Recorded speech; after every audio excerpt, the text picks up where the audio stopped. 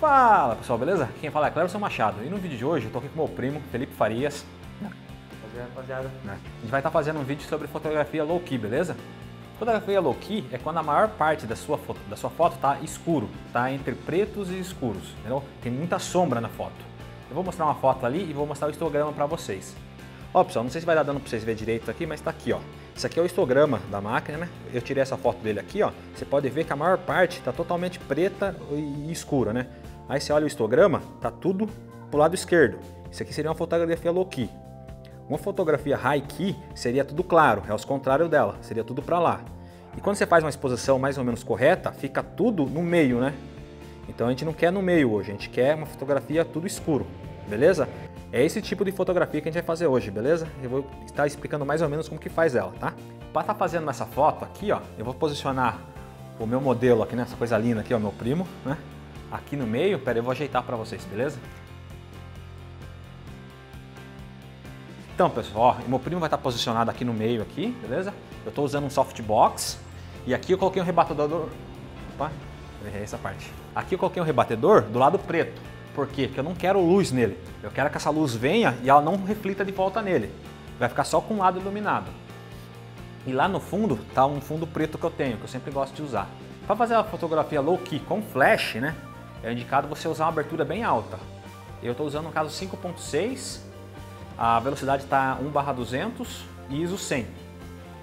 Em 5.6, mesmo se eu não tivesse aquele fundo preto, se, se for uma área que não vai bater o flash, já vai ficar escuro. Quer ver? Vou fazer um teste aqui. Ó. O flash está daquele lado, né? Vai bater nele. Eu vou mirar na parede branca ali e vou bater uma foto. Nessa configuração que eu estou usando, não tem luz ambiente nenhuma. Vamos dá para vocês verem. Ela está toda preta. O que vai ser iluminado é só o, o meu primo ali no caso, né?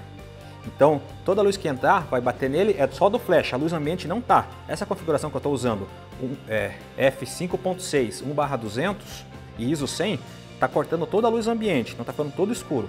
Tá com aquele fundo preto ali, mas no caso, mesmo se não tivesse, daria para você fazer. Você pode fazer sem um fundo preto esse tipo de foto, beleza?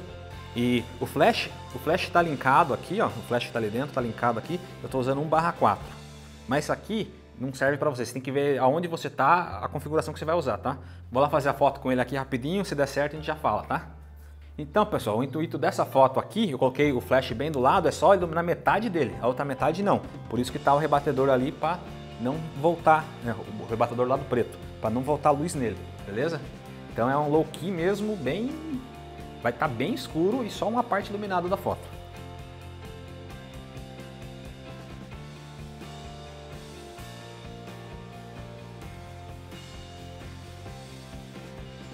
Então, pessoal, a foto que eu escolhi é essa aí, ó, que tá mostrando para vocês, beleza?